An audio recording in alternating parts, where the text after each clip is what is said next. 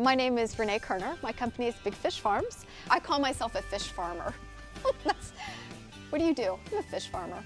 Then when I say caviar, I raise caviar, the eyebrows go up and usually there's some questions. I've been in the wine business and the food business for a long time and um, I was feeling like I really wanted a challenge. Like a, I really wanted something that was gonna challenge me every day. and then I got it. I would say I'm passionate about food. Yeah. I am, and I don't think, not fancy food, just good food. There's this beautiful aquifer under Ohio and Kentucky that's the second largest aquifer in the world, and it's the most pure. People want to know where their food comes from, and they want to make sure that it's raised in a way that's environmentally sound, and there are other people that are doing what I'm doing right now, and whenever we talk caviar, they always say, oh, Renee, you don't have to do that. You just have to do this. This is good enough. And I always think, okay, you guys keep doing good enough because I'm going to do great. These guys are so gentle. That's one thing that I really like about them. Um, they're, I don't know, they're, they're just, they're great fish to raise. Paddlefish are indigenous to the Midwest, and that was kind of important to me. I didn't want to do something exotic. I wanted to do something um, regional that belonged here.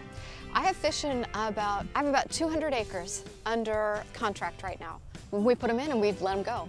And then at that point, it takes eight to 10 years before we see caviar. I've always been in sales, so I knew the sales and marketing part of the caviar would be fine. Once and uh, and I love to cook, and I've been in the kitchen a lot, so I knew I could make caviar.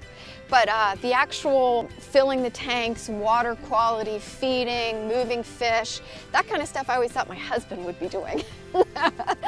it's funny because everybody talks about how when you start a new business, you shouldn't expect to make money for two years. Even when you intellectually know that, going into it, it's a lot different than when you're actually doing it.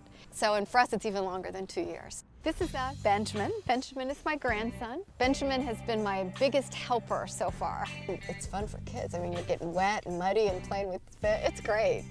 I'm hoping that one day I'll be able to create a very successful business and that if he's interested, that I'll be able to leave it to him. You think you might feel like doing it? Maybe, probably. Yeah. He's young. He's got a lot of time to decide. If people ate my caviar with the happiness that I'm making it with, you know, that would, that would please me immensely. If people really, because food should bring joy. There's a lot of love in that caviar.